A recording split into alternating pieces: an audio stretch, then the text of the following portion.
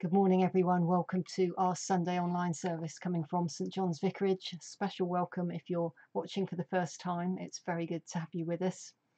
I was talking to somebody just today who um, said they missed the live chat from when we did the service live, and um, just wanted to say you can still say hello in the comments, I believe, and that might just help people uh, feel a bit more connected if they know that there are other people watching. So do say hello and um, where you're watching from uh, in the comments, and um, it's good for us to know uh, that we're still all one family together.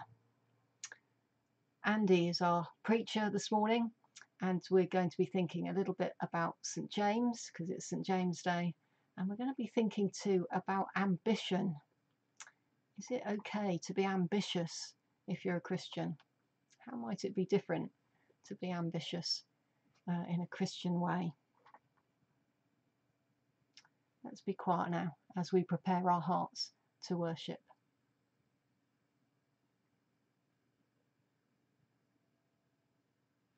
O Lord, open our lips, and our mouths shall proclaim your praise. Bless the Father, and the Son, and the Holy Spirit. Sing his praise, and exalt him for ever. The night has passed and the day lies open before us. So let us pray with one heart and mind.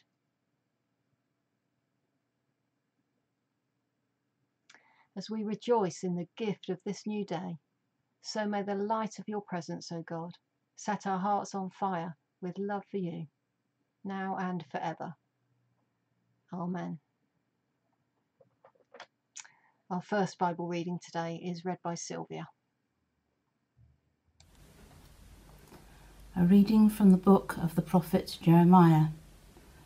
The word that the prophet Jeremiah spoke to Baruch, son of Neriah, when he wrote these words in a scroll at the dictation of Jeremiah, in the fourth year of King Jehoiakim, son of Josiah of Judah.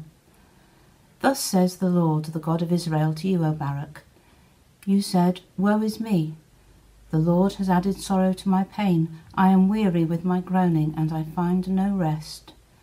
Thus you shall say to him, Thus says the Lord, I am going to break down what I have built, and pluck up what I have planted, that is, the whole land.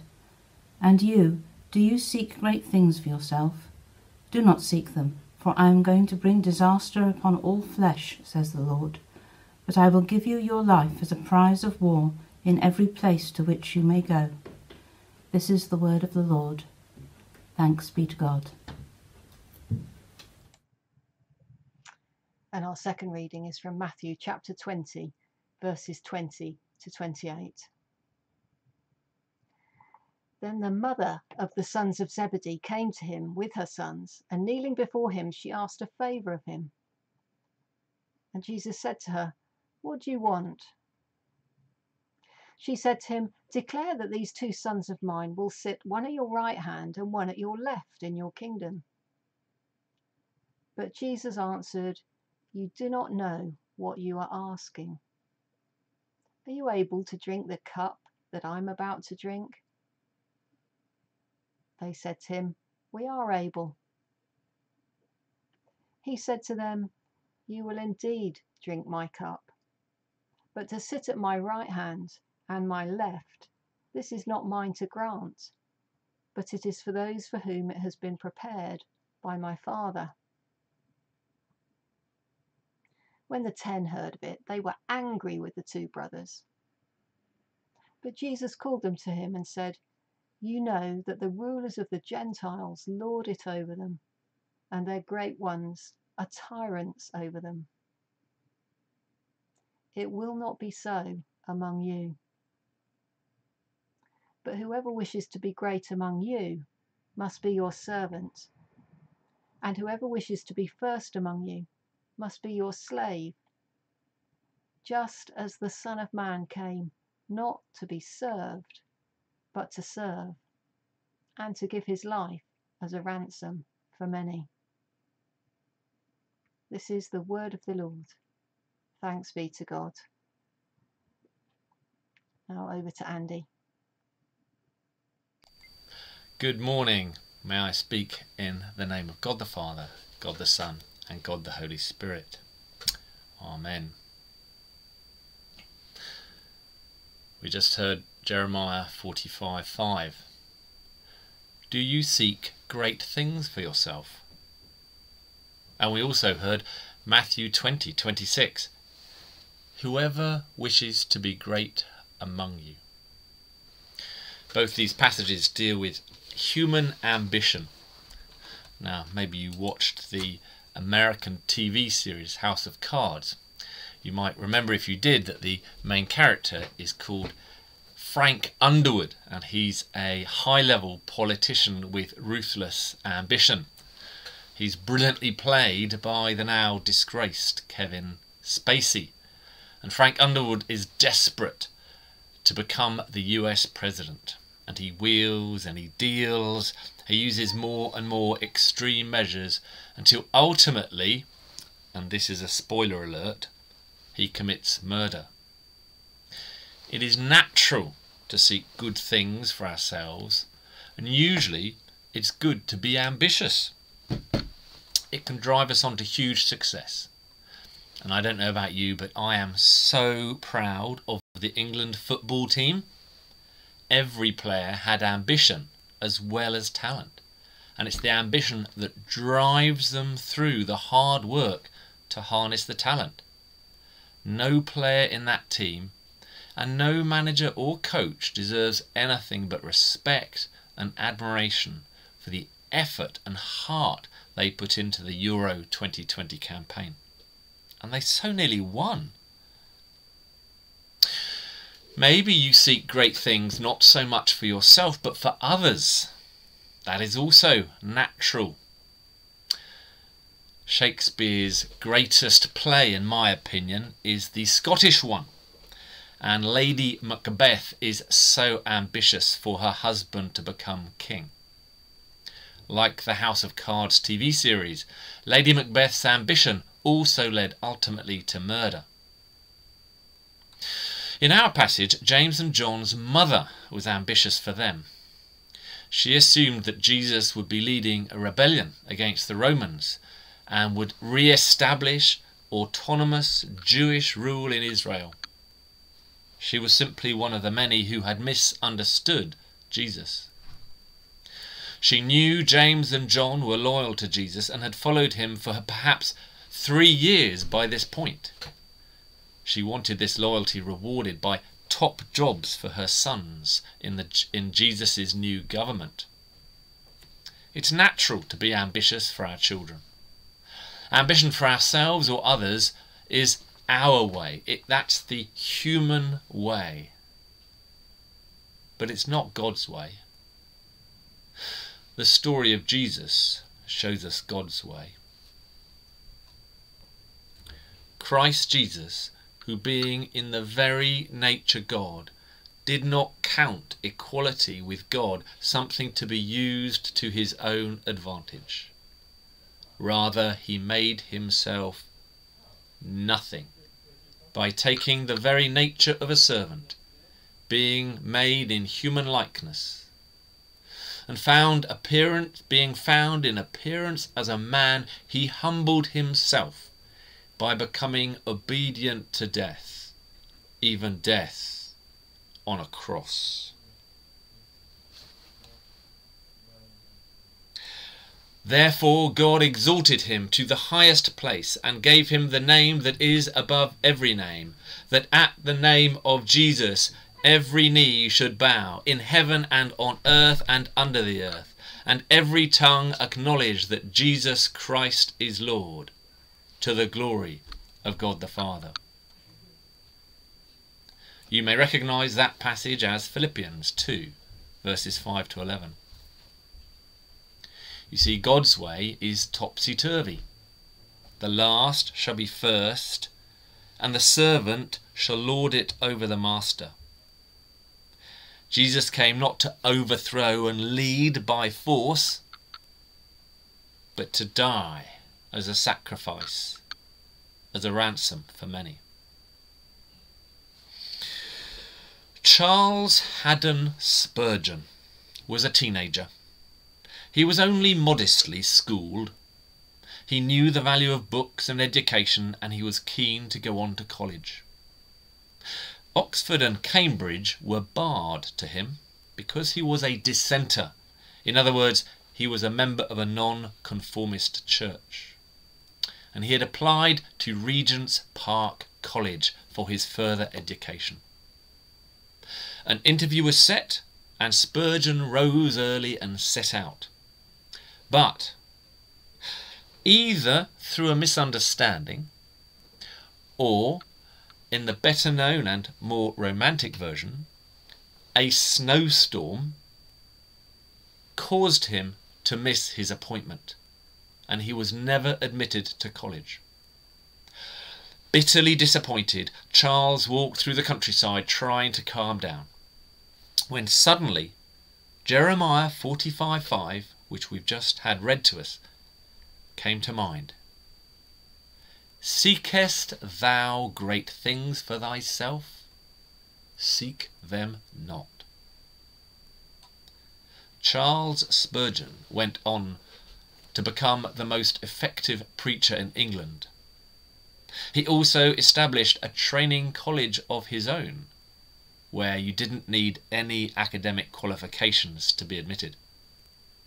And when he died, 100,000 people lined the streets for his funeral, and 60,000 people saw him lying in state. What happened to Baruch, who is in our Jeremiah passage? He lived in terrible times when Israel suffered greatly, and yet his life was spared in those turbulent times. In our passage, God says he will give Baruch's life as a prize of war. In other words, he would keep his life. It would be a prize of war, effectively referring to how precious life is, like a prize, when so many have perished.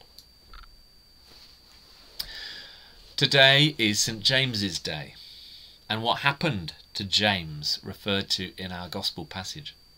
Well, unlike Baruch, James was not spared. He was killed by the sword by Herod, according to Acts 12:2. It was only 44 AD, shortly after Jesus had been killed and re resurrected. James was one of the first apostles to die, and he was certainly not the last.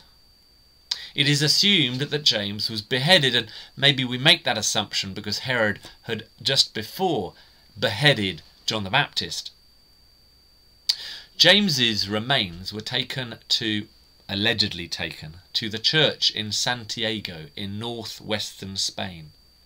And that today is a very famous pilgrimage destination.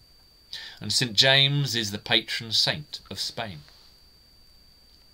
However, James's brother John, who was probably the youngest disciple, was the one and only apostle to die of natural causes.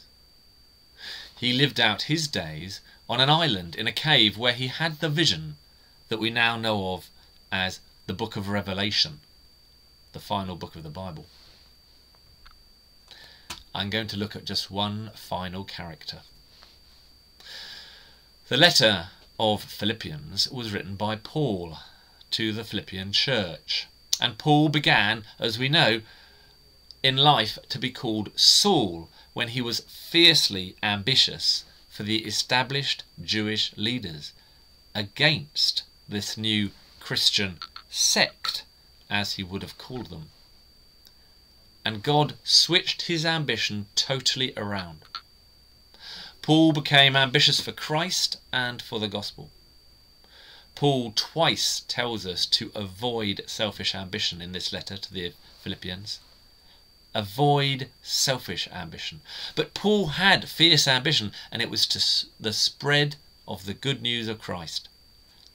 With his driving character and that ambition, he took him right across the known world. And he suffered much anguish, much torture, many beatings, and ultimately, like James, he suffered a martyr's death, and for Paul that was in Rome. Let us just remember how our gospel passage ends. You know that the rulers of the Gentiles lord it over them, and their great ones are tyrants over them. it will not be so among you. But whoever wishes to be great among you must be your servant, and whoever wishes to be first among you must be your slave, just as the Son of Man came not to serve, sorry, came not to be served, but to serve, and give his life as a ransom for many. Let us pray.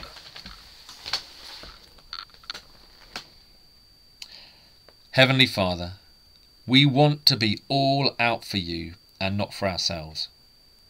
Turn our will like you turned Paul's, so that we will be driven with ambition for you. You must increase, we must decrease. Thank you that we are only safe when we are in your arms. In the name of Christ. Amen.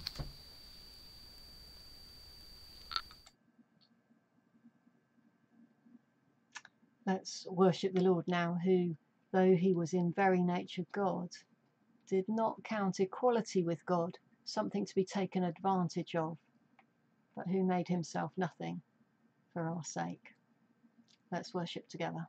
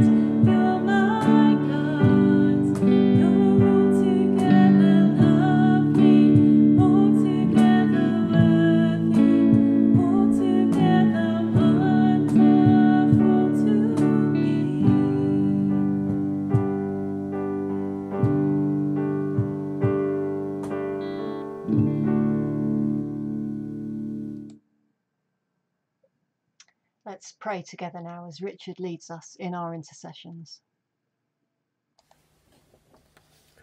The response to Lord in your mercy is hear our prayer.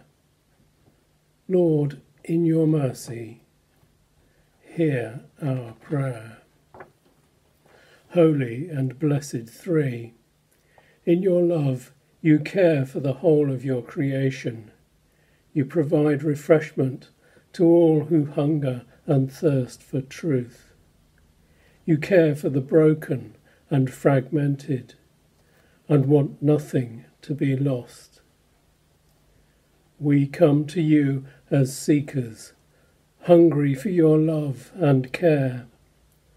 Bless all who are pilgrims and seekers, who long for an awareness of your presence and power. We remember before you all who bring refreshment to your people, for teachers, preachers, and pastors, for leaders, and for places of pilgrimage. Lord, in your mercy, hear our prayer. We give you thanks for our daily bread and for all who provide us with food and shelter. We pray for farmers, fisher folk, and food processors. We remember all who are hungry and weary. We ask you to bless all who suffer from poverty, from famine, disease, or from natural disasters. At this time, we pray specially for the people of Henan in China, the people of Germany, Belgium, France, and the Netherlands, whose homes and livelihoods have been devastated by flooding, and for all those who suffer sickness, stress, and loss in the ongoing COVID 19 pandemic. Help us to address global climate change and health inequality, twin evils of our own making. Make us aware of the consequences of both action and inaction, and help us to mend our ways. Lord, in your mercy, hear our prayer. We give thanks for the comfort and security of our homes Lord, bless our loved ones and friends. We pray for those in our community who feel lonely and uncared for. We ask you to bless all carers, social workers, the Reading Drop In Centre, Christian Community Action, and Launchpad. Lord, in your mercy, hear our prayer. We remember before you all whose lives are fragmented and broken in body, mind, or spirit. We remember all who are shattered and exhausted at the end of their tether and who long for your healing touch. We ask you to bless all those who have asked for our prayers, and those who we know and call to mind now.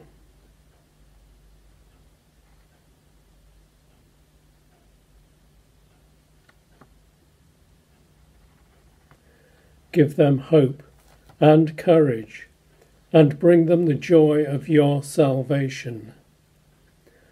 Lord, in your mercy, hear our prayer.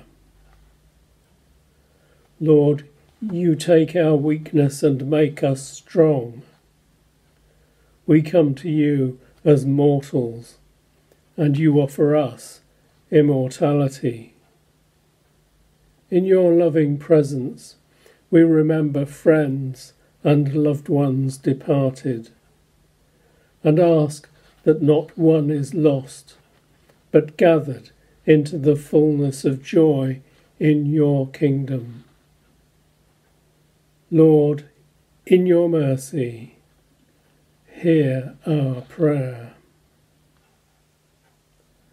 Merciful Father, accept these prayers for the sake of your Son, our Saviour, Jesus Christ. Amen. And the collect for St James Day. Merciful God, whose holy apostle St James, leaving his father and all that he had, was obedient to the calling of your Son Jesus Christ and followed him even to death. Help us, forsaking the false attractions of the world, to be ready at all times to answer your call without delay. Through Jesus Christ, your Son, our Lord, who is alive and reigns with you in the unity of the Holy Spirit, one God, now and forever. Amen. As our Saviour taught us, so we pray together. Our Father in heaven, hallowed be your name. Your kingdom come, your will be done on earth as in heaven. Give us today our daily bread. Forgive us our sins, as we forgive those who sin against us. Lead us not into temptation, but deliver us from evil. For the kingdom, the power, and the glory are yours, now and forever. Amen. The Lord bless us and preserve us from all evil and keep us in eternal life. Amen. Let us bless the Lord. Thanks be to God.